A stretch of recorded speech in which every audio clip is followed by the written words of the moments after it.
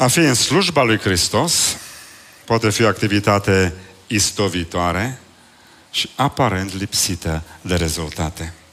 Am văzut mulți oameni implicați, oameni care un, s-au implicat și apoi s-au delăsat. Pentru că n-au văzut rezultate. Adevărul este că în slujba lui Hristos nu este întotdeauna ușor. Și mai ales nu este ușor când cei slujiți nu răspund. Sau răspund rău înapoi. Sau slujirea în Biserica lui Hristos poate să fie o experiență înălțătoare dacă este înțeleasă și practicată conform designului lui Dumnezeu. De multe ori slujirea este lipsită de rezultate sau istovitoare pentru că nu o facem cum trebuie sau nu o facem cu atitudine potrivită. Ne scapă ceva și resimțim eșecul cu putere. Acum, când vorbim de slujire în biserică, nu ducem lipsă de idei, avem o grămadă de idei ce s-ar putea face sau ce ar trebui făcut. Nu ducem lipsă de idei, nu ducem nici lipsă de metode, suntem foarte creativi și avem resurse aproape inepuizabile de creativitate în jurul nostru. Avem idei, avem metode și avem o grămadă de domenii de implicare. Problema este că principiile slujirii nu ne sunt foarte limpezi. Cum se slujește? Care este modelul după care eu trebuie să slujesc, indiferent ce fel de slujire fac? Cum au loc lucrurile, cum are loc slujirea, astfel încât să nu fie istovitoare și lipsită de sens. Petru așează în câteva fraze un mesaj concis, dar cuprinzător despre slujirea în împărăție, despre modelul slujirii, despre cum trebuie să slujim. Și aș vrea să luăm acest text și să-l citim cu atenție și să extragem din el modelul. Cum gândește Dumnezeu atitudinea noastră în slujire? Cum trebuie înțeleasă slujirea? Pentru că atunci când ne vom implica, să nu lăsăm descurajați, pentru că atunci când ne vom implica și vom sluji, să fim perseverenți și să o facem cu rezultate. Să lăsăm în urmă ceva bun și folositor. 1 Petru de la 2 la 4, dar am să citesc și versetul 1, pregătitor. Sfătuiesc, spune Petru, pe prezbitere dintre voi, eu care sunt un prezbiter ca și ei, un martor al patimilor lui Hristos și părtaș al slavei care va fi descoperită. Eu vă sfătuiesc, zice Petru, ce? Păstoriți turma lui Dumnezeu care este sub paza voastră, nu de silă, ci de bu- bună voie, după voia lui Dumnezeu, nu pentru un câștig mărșav, ci cu o lepădare de sine. Nu ca și cum ați stăpânit peste cei ce v-au căzut la împărțeală, ci făcându-vă pilde turmei.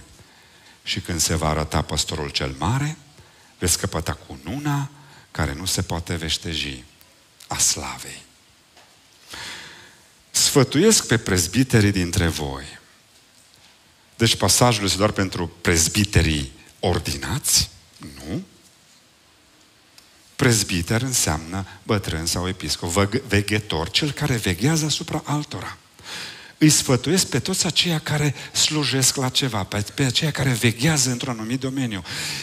Ceea ce urmează este pentru toți aceia care slujesc, pentru toți aceia care păstoresc turma lui Dumnezeu, indiferent de componența ei. Și vreau să încep cu acest lucru. Viața este precum tenisul. Cine servește mai bine, rare ori pierde. S-ar putea să fie adevăr în cuvintele acestea. Cine servește mai bine, rare ori pierde. Cine are serva bună, cine slujește bine, nu prea are cum să piardă. Și o să vedeți de ce. Așa că Petru ne lansează într-un model al slujirii pune înaintea noastră o radiografie cum trebuie să gândesc când slujesc, indiferent de slujire. 1. Păstoriți turma lui Dumnezeu care este sub paza voastră. Și păstoriți este o serie de acte de slujire. Păstoriți turma lui Dumnezeu care este sub paza voastră. Înțeleg de aici un prim principiu. Slujirea creștină nu este un act facultativ, ci obligatoriu. Este ceva ce trebuie să facem. Viața de credință este o slujbă cu normă întreagă, cum ați văzut, 24 din 24, 7 din 7. Noi suntem împreună lucrători cu Dumnezeu și așa mai departe. Scriptura este cât se poate declară că avem o datorie de a pune umărul, de a face ceva, de a ne implica, de a avea un rol, de a sluji. Până la urmă, slujirea, ca definiție, este, ar putea suna în felul următor. Slujirea este actul, acțiunea, actul prin care resursele divine întâmpină nevoile umane prin intermediul credincioșilor spre slava lui Dumnezeu. Și acum să mergem mai departe. Vedem că turma este a lui Dumnezeu, aflată sub paza ta, nu-i așa? Asta ne conduce la un alt principiu. Slujești Domnului slujind oamenii. Când slujești oamenii, tu de fapt slujești Domnului. Și această perspectivă este foarte importantă. Chestiunea aceasta, perspectiva aceasta este cât se poate de importantă când slujești. De ce? Pentru că ea îți spune următorul lucru. Eu sunt în slujba Lui, nu în slujba lor. În slujba Lui, pentru binele lor. Tu slujești Domnului. Pavel spune în 2 Corinteni 4 cu 5, noi suntem robii voștri, sclavii voștri, servitorii voștri, adică noi vă slujim pe voi, și atenție, pentru Isus, ca reprezentanța lui Isus. Noi suntem ai Lui. Noi suntem robii Lui, nu robii voștri. Și consecințele unei astfel de perspective, slujim oamenii, eu slujesc Domnului, sunt semnificative. Când gândești așa, tu nu ești la cheremul oamenilor, pe care îi slujești. Nu ei sunt șefii tăi, nu ei îți dictează ce ai de făcut, tu nu ești supusul lor, sclavul lor. Nu ești la cheremul lor, îi slujești după voia lui Dumnezeu spre folosul lor. Apoi, o altă consecință, când gândești așa, vei fi motivat să dai ce ai mai bun, nu resturile, nu să cauți scuze. Dacă eu de fapt slujesc Domnului, vreau să o fac cum trebuie, cu toată dedicarea, nu cu resturile ce mai rămân pe acasă.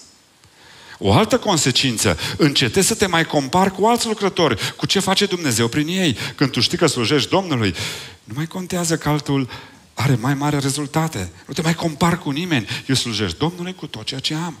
Fiecare cu treaba lui. Și mai are încă o consecință. Odată tu nu ești la cheremul oamenilor, dar în același timp oamenii nu sunt la cheremul tău îi protejează, o astfel de gândire, îi protejează pe beneficiarii slujirii tare, îi protejează de abuzuri, îi protejează de posibilitatea de a fi umiliți prin slujirea ta. Adică atitudinea cu care slujești te învață să fie de bun simț pentru că tu slujești Domnului. Arătând respect celor slujiți. Ei nu sunt ai tăi, sunt ai Domnului. Când slujești pe cineva și te străduiești să-i clarifici că o faci, că o faci asta pentru el, ai o problemă de atitudine.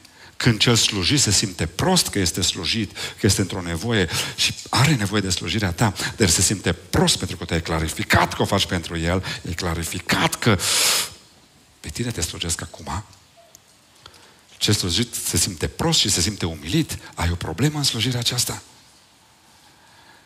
Când știi că tu slujești Domnului, îl respecti pe cel de lângă tine. Poate aici ar ajuta o distinție între ajutorare și slujire. Și distinția este de nuanță. Dar s-ar putea să fie de folos în abordarea, în gândirea noastră. Pentru că ne schimbăm gândirea și încep să ni se schimbe sentimentele și acțiunile. Există, haideți să facem o distin- distinție între ajutorare și slujire.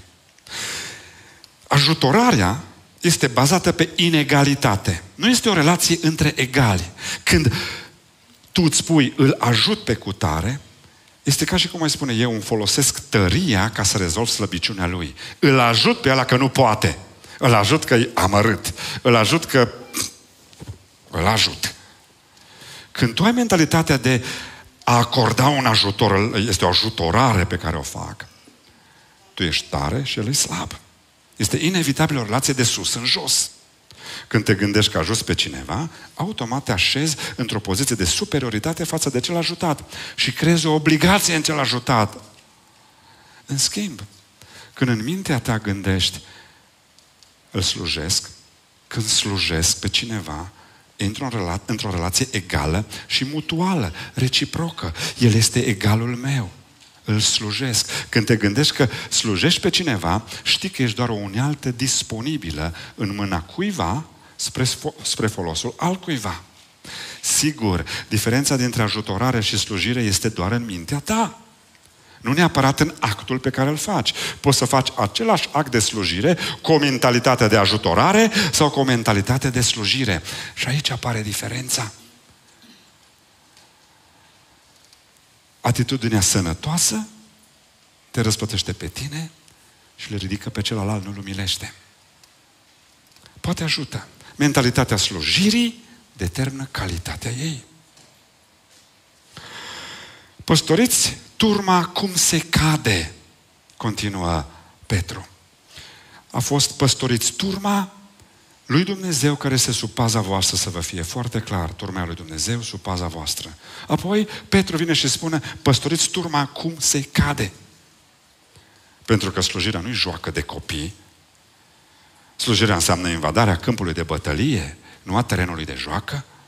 Și Petru spune lucrul ăsta foarte clar câteva versete mai încolo în contextul îndemnului la slujire. Și aduce pe scenă pe cel rău, fiți treși și vegheați, pentru că potrivnicul vostru diavolul dă târcoale ca un leu care răgnește și caută pe cine să înghită, împotriviți-vă lui tare în credință. Păstoriți turma, cum se cade? Nu-i joacă de copii, e o treabă serioasă. Cum se cade? Și Petru continuă. Cum se cade? Unu, de bună voie. Nu de silă, ci de bună voie, răspunzând chemării lui Dumnezeu. Și lucrul ăsta este foarte important. Pentru că intrarea în slujire se face prin chemare divină. Este foarte important să înțelegi că Dumnezeu te cheamă. Abia când știi că Dumnezeu te cheamă, vei avea resursele să mergi mai departe. Pentru că cine nu are siguranța chemării divine în lucrare, va ceda curând în fața greutăților ei. Sau o va face cu superficialitate. Dar când știi că Dumnezeu te cheamă, când ajungi, ajungi la o creștere în cunoștință, aici este locul meu și trebuie să pun numărul. Când vezi că ușa e deschisă și poți să faci ceva, știi că Dumnezeu te cheamă. Când ai o povară lăuntrică pe inima ta și știi că ceva trebuie făcut, este chemarea lui Dumnezeu. Este important să știi că Dumnezeu te cheamă și verifică-ți chemarea și sfătuiește, dar să ai convingerea că Dumnezeu te cheamă. Pentru că altfel vei ceda curând în fața greutăților lucrării. De bună voie, nu de silă, ci de bună voie, răspunzând chemării, și nu de silă, ci de bună voie, conform darurilor cu care ești înzestrat. Darul spiritual reprezintă orice înzestrare, naturală sau supranaturală, care primește putere de la Duhul Sfânt și, și este folosită pentru edificarea bisericii. Păstorește turma cum se cade. Cum se cade? Nu de silă, ci de bună voie, conform darurilor cu care ești înzestrat. Bun, dar cu ce daruri sunt înzestrat? Și mulți avem problema aceasta. Parcă am vrea cumva așa să primim un soi de etichetă, un soi de rețetă. Ăsta este darul tău, dă bătaie. Și lucrurile nu se întâmplă așa în viața reală. Știm cu toții că avem niște daruri, știm cu toții, Biblia ne spune că suntem înzestrați cu niște daruri naturale și supranaturale, dar care să alea? Și în căutarea noastră sinceră de a descoperi, ni se oferă foarte des tot felul de teste de personalitate, teste de descoperire a darurilor, care poate că ajută puțin, dar mie mi se par neconvingătoare și foarte teoretice. Există căi nespus mai bune. Și vă dau trei căi nespus mai bune de a-ți descoperi darul și cât se poate de practice și de pe teren. Prima cale de a-ți descoperi darul este suflecarea mânecilor. Ce să mai stăm atâtea povești și la atâtea teste și la atâtea întrebări filozofice și întoarse pe toate părțile? Suflecă-ți mânecile și dă bătaie. Caută care sunt nevoile și oportunitățile de slujire și experimentează, pune umărul, implică-te și vezi ce iese. S-ar putea să-ți dai seama că nu-i locul tău acolo, că nu te pricep, că nu-ți iese. Nicio problemă. Tot cu mânecile suflecate te duci altundeva unde se cheamă, unde este nevoie, unde poți face ceva, oricât de simplu ar fi. Suflecă-ți mânecile și pune umărul la orice nevoie, orice chemare, orice oportunitate și vei descoperi dacă ți iese. E pe teren. Vei avea rezultate concrete. Fie că poți, fie că nu e acolo locul tău și mergi în altă parte. O altă cale nespus mai bună este bătaia inimii. Unde îți bate inima? Pentru ce îți bate inima? Unde stau gândurile tale? Care sunt frământările pe care le ai cu privire la viața bisericii, la locul tău acolo? Ce interese sau înclinații ai? Uite-te la rezultatele implicării tale într-o anumită zonă de slujire. Unde îți bate inima? Și dacă acolo e gândul tău, frământarea ta, caută-ți un loc acolo și implică-te. Și o treia cale nespus mai bună este vocea de lângă tine. Și asta înseamnă două lucruri. Vocea de lângă tine poate însemna sfatul oamenilor care te cunosc, ce văd ei la tine. Du-te la cei care te cunosc, apropiați, rude, cei care te cunosc, prietenii tăi. Să-ți spună ce văd ei din afară. Unde te-ar vedea ei potrivit. Clarifică-ți, vocea de lângă tine te poate îndruma. Dar vocea de lângă tine mai poate însemna și oamenii slujiți deja de tine când ți-ai suflecat mânecile. Pentru că întâi de toate sufleci mânecile și te bagi. Băgându-te vezi rezultate. Dacă oamenii slujiți de tine vin să-ți confirme, dar o să vadă că ce ai făcut e bun. E vocea celui de lângă tine care spune, aici e locul tău, aici ești de folos, aici ești vrut. Și atunci, iată trei căi nespus mai bune și cât se poate de practice, de pe teren. Păstoriți turma lui Dumnezeu cum se cade, de bunăvoie, dar Petru continuă, după voia lui. După voia lui Dumnezeu. Ce înseamnă asta? Care e voia lui Dumnezeu? Slujește potrivit cu categoria celor slujiți. Fiecare categorie de oameni are un specific. Vorbește pe limba lor. Slujește după nevoia lor, după structura lor, după simțul, după nevoia lor, după specificul lor. Sfaturile lui Pavel pentru Timotei sunt un argument foarte puternic. Pavel spune lui Timotei, nu mustra cu asprime pe un bătrân, ci sfătuiește-l ca pe un tată. Are un specific. Pe tineri sfătuiește ca pe niște frați, nu ca un șef. Pe femeile bătrâne sfătuiește ca pe niște mame. Pe cele tinere ca pe niște surori. Cinstește văduvile care sunt cu adevărat văduve. Au un specific. Prezbiterii care cărmesc bine să fie învredniciți cu îndoită cinste. Un specific. Împotriva unui prezbiter să nu primește învinuire decât din gura doi sau trei martori. Și așa mai departe. Slujește potrivit cu categoria celor slujiți. Cu copii îi slujești pe nevoia lor, pe tineri pe nevoia lor, pe adulți pe nevoia lor și așa mai departe. Fiecare lucrare are un specific. Voia lui Dumnezeu este să te slujești potrivit cu specificul lor. Dar după voia lui Dumnezeu mai înseamnă încă un lucru. Și anume, lasă-te îndrumat, învățat, mustrat și îndreptat de cuvântul lui Dumnezeu ca să fii destoinic pentru orice lucrare bună, cum spune cuvântul. Dar ce să însemne asta? După voia lui Dumnezeu înseamnă să primești de la El îndrumarea de care ai nevoie. Și Roman 12 cu 2 mi se pare cât se poate de categoric în direcția aceasta. Cel mai mult citim Roman 12 cu 2, un verset cunoscut și vi-l citesc imediat. Îl citim în cheia moralității. Să nu vă potriviți chipului viacului acestuia, ci să vă transformați prin înnoirea minții voastre, ca să puteți deosebi bine voia lui Dumnezeu cea bună, plăcută și desăvârșită. Și noi spunem să nu ne asemănăm din punct de vedere moral. Nu cred că la asta se referă. Ca să putem deosebi bine voia lui Dumnezeu, nu se referă la moralitate, pentru că tot standardul moral este cât se poate de bine subliniat în Scriptură. Nu prea este, nu e nevoie de o deosebire a voii lui. Albul alb, negru negru. Ce-i bun e bun, ce-i rău e rău. Este cât se poate de clar subliniat în Scriptură. A descoperi voia lui Dumnezeu, a discerne bine voia lui Dumnezeu, trebuie să se refere la altceva. Nu la moralitate. Și cel mai degrabă se referă la cele strategice, tactice, dacă vreți, metodologice. Cum am de slujit în domeniul acesta? Oare cum ar trebui să abordez lucrurile? Care e voia lui Dumnezeu în modul în care mă ocup de cutare categorie sau de cutare categorie? Pentru că eu cred din toată inima, ceea ce dă, ceea ce dă roade pentru IBM sau pentru Apple sau pentru, eu știu, Daimler-Benz, nu funcționează neapărat și în biserică. Pârghiile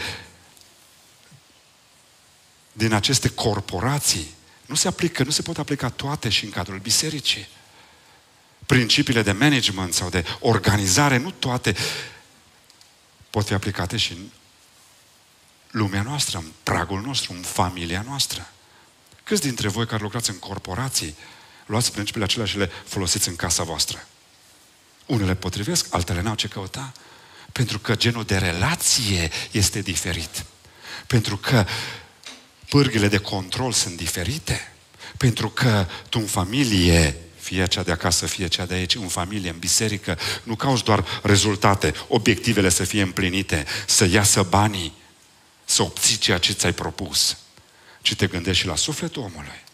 Te gândești la inima lui, cauți și formarea lui.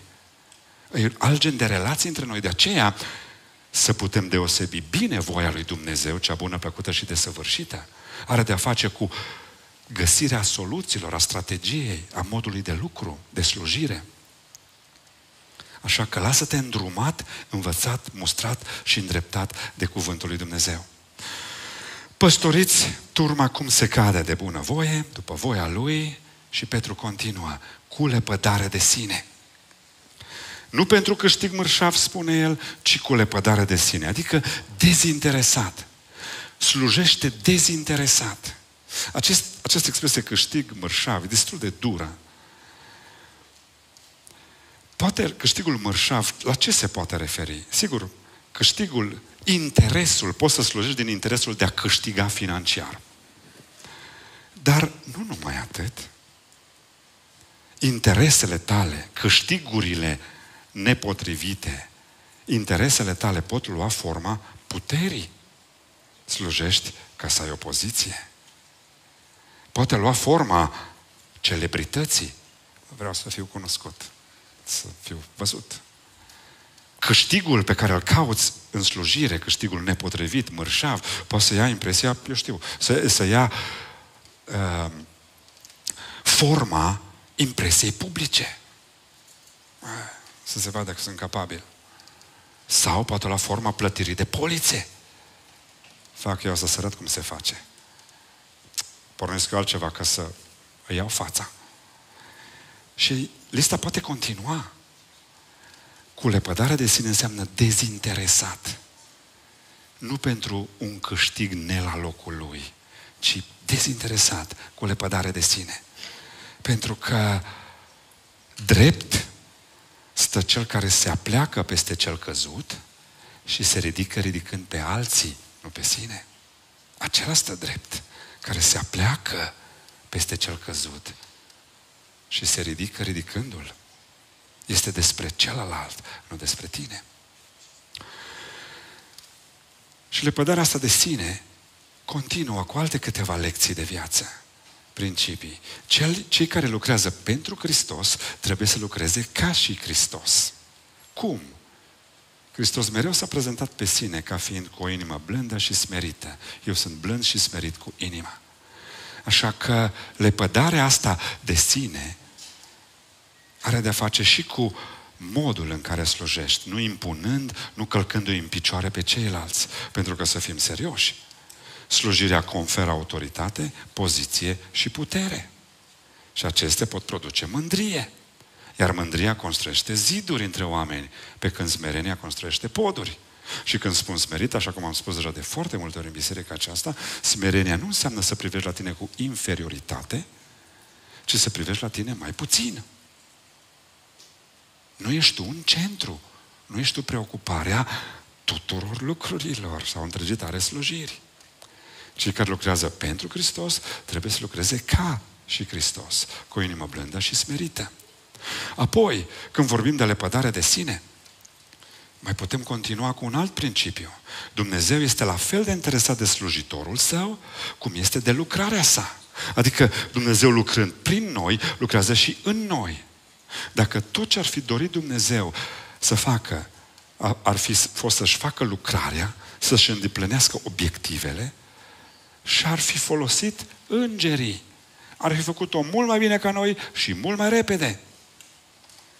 Numai că El se folosește de noi. Pentru că lucrând prin noi, ne lucrează și pe noi. Implicându-te în lucrarea Lui, ești lucra și tu. De aceea mai apar greutăți în lucrare și în loc să arunci armele, ești pregătit. Mai, lucrând, implicându-mă, Dumnezeu mă lucrează și pe mine. Trei. Un slujitor sfânt este o armă măreață în mâna lui Dumnezeu.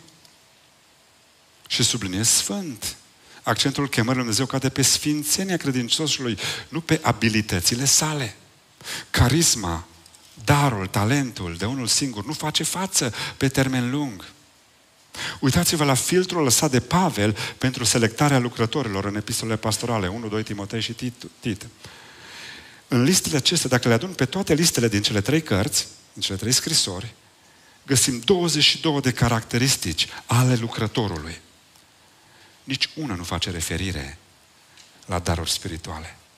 Lucrătorul nu este unul a cărui daruri sunt subliniate, ci unul a cărui caracter este subliniat ne uităm acolo și vedem că lucrătorul, slujitorul trebuie să fie fără prihană, bărbatul în singură neveste, cumpătat, înțelept, vrednic de cinste, nu cu două fețe, primitor de oaspeți, să nu fie nici bețiv, să nu fie încăpățânat, să nu fie iute la mânie, să nu fie bătăuș, să nu fie doritor de câștig mărșav, să nu fie certăreț, să, nu fie, să fie blând, să nu fie iubitor de bani, să-și chivernisească bine casa, să-și țină copiii în supunere cu toată cuvința, să aibă bună mărturie din partea celor din afară, să iubească ce este bun, să fie drept, să fie devotat, să nu fie întors de curând la Domnul și peste un am sărit.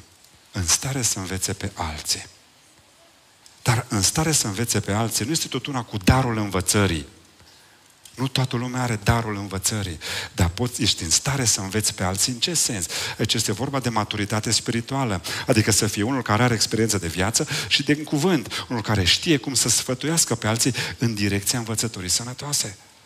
Și vedem că din 22 de caracteristici, nici una nu face referire la daruri ci orice om poate să slujească, orice om de caracter. Un slujitor sfânt este o armă măreață în mâna lui Dumnezeu.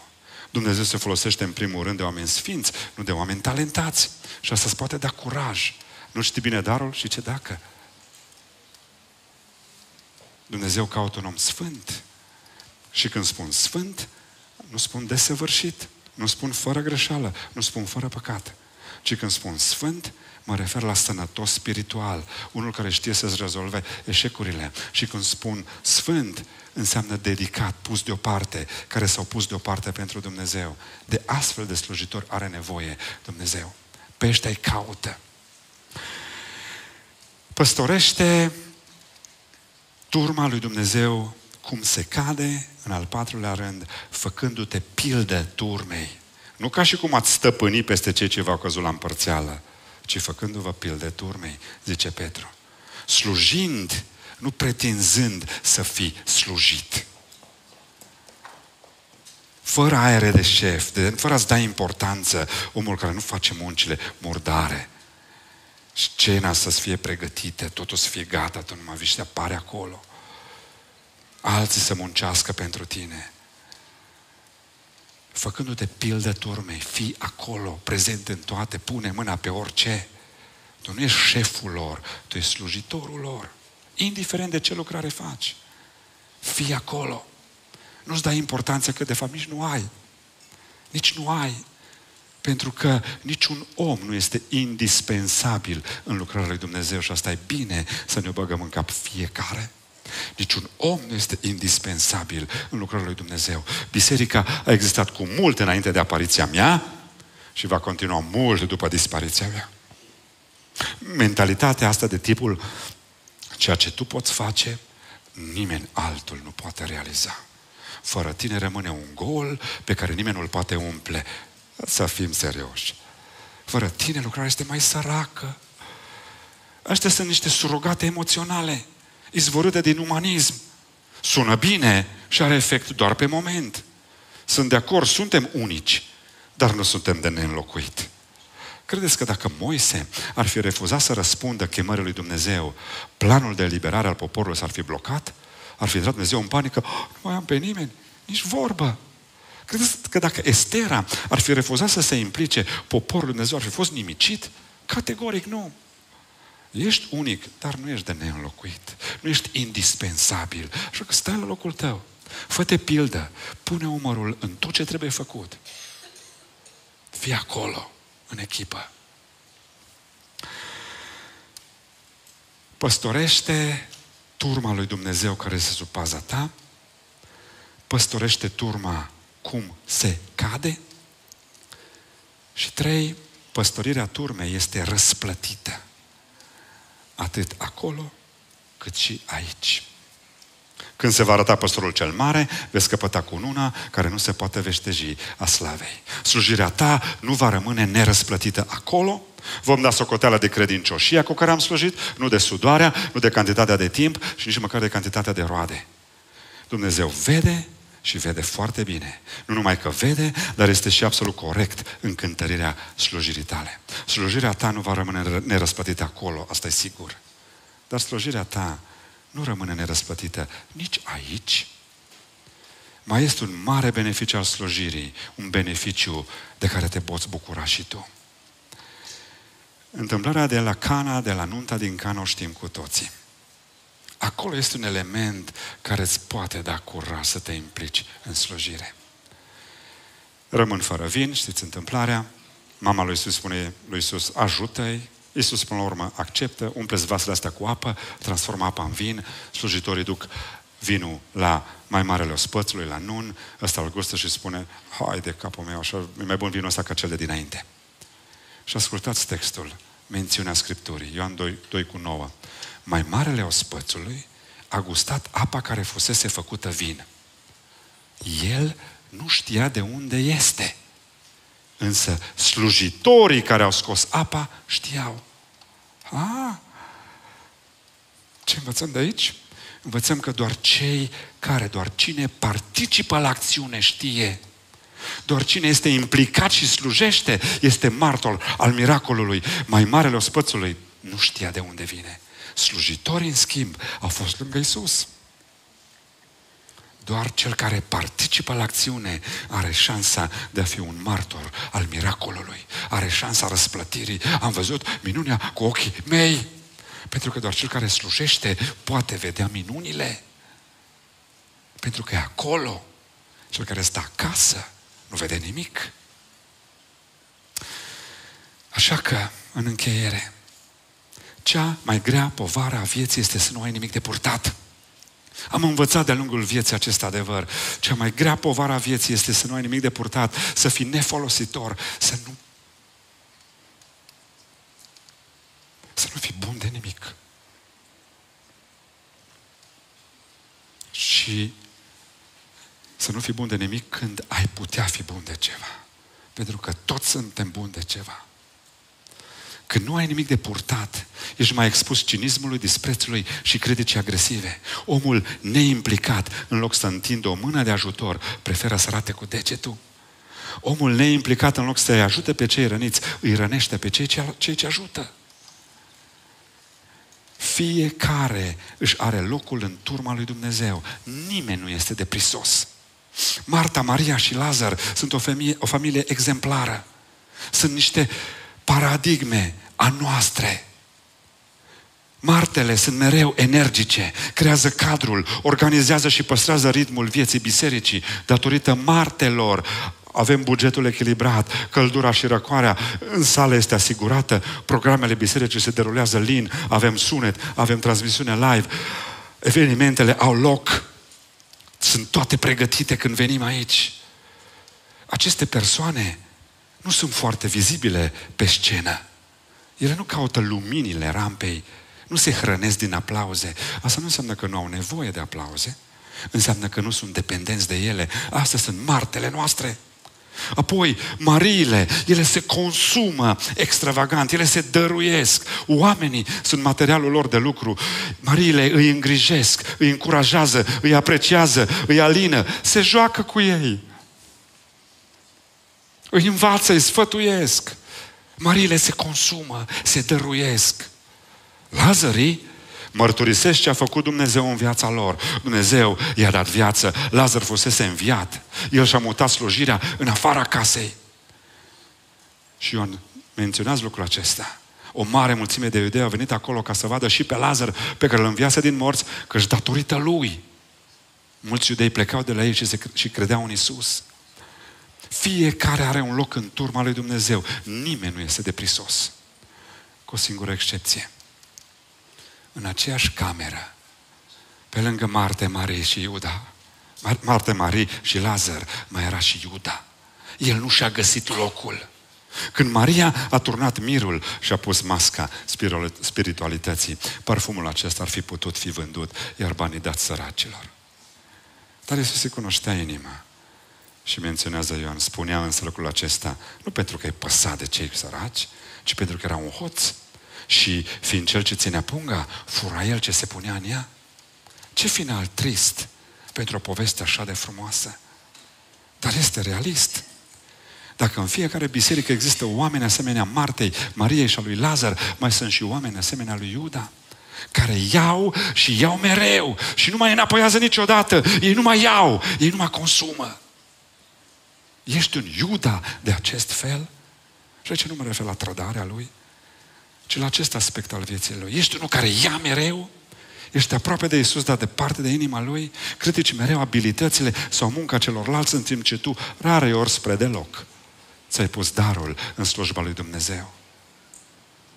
Profiți de avantajele pe care ți le oferă biserica, dar nu slujești niciodată?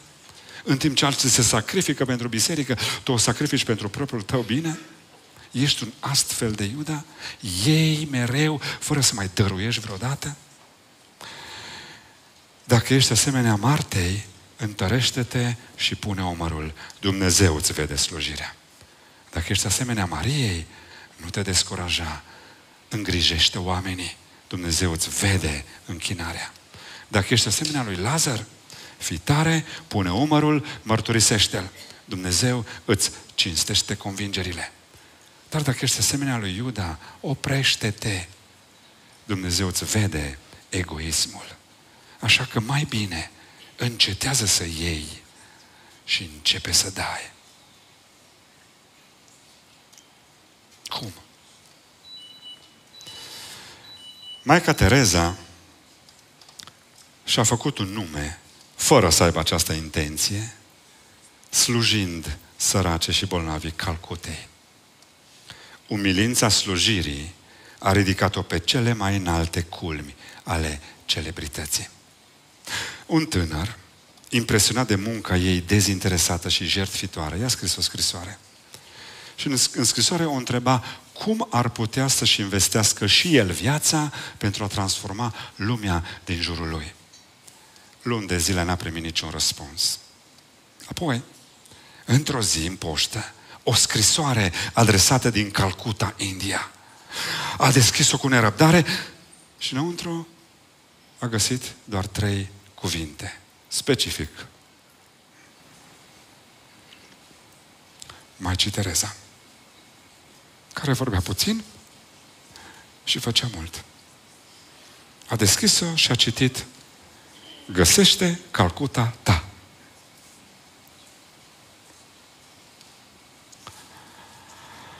Aceasta este chemarea Bisericii Via. Găsește-ți Calcuta. Ea există, este aici. Caut-o și găsește-o. Pentru că Dumnezeu lucrând prin noi, lucrează și în noi. Unde? Sunt lucrări unde mai este nevoie de oameni. Alipiți-vă de ele. Avem nevoie de oameni la proiecție. Avem nevoie la transmisiune live. la departamentul media, la sunet. Dar sunt și lucrări care au nevoie, lucrări care nu există și au nevoie să fie lansate. Via încă nu le acoperă. Care sunt acelea? E bine, doar voi le știți. Dumnezeu vi le pune pe inimă. Eu nu le știu. Da, sigur, aș putea să fac o listă cu ce ar trebui făcut. Dar abordarea bisericii noastre niciodată n-a fost astfel. Noi nu creăm forme cărora, în care să insuflăm viață, în care să injectăm cu forță artificial viață. Noi căutăm viață care să-i dăm formă. Așa că nu ne uităm atât de mult după ce, cât după cine. Așa că ce alte lucrări se mai pot naște, doar voi știți. Dumnezeu vi le pune pe inimă. Și nu vom începe absolut nimic până când nu apare acel cine. Pentru că trebuie să apară un cine care are convingerea chemării, care ia Dumnezeu sau căreia Dumnezeu i-a pus pe inimă ceva. Și în jurul acelui nucleu vom sprijini și vom dezvolta toate lucrările pe care le putem imagina. Dar nu mă interesează ce, cât mă interesează cine va duce lucrurile mai departe. Slujirea poate fi la locul de muncă, dacă este una intenționată și gândită. Implicarea noastră nu trebuie să fie doar în biserică, pot să fie proiecte publice la care noi ca biserică sau grup din biserică ne putem implica. Spațiul, ușile sunt deschise și spațiul este cât se poate de mare. Important este să asculți vocea lui Dumnezeu și să vezi unde ți este locul în împărăție. Mă bucur că deja Dumnezeu a început să stârnească lucruri și deja o persoană a venit cu un gând și lucrurile încep să se strângă într-o săptămână. Așa că, dacă mai este un cine, să vină să povestim. Pentru că nu creăm forme în care să injectăm artificial viață, ci vrem viață care să dăm o formă. Vă așteptăm.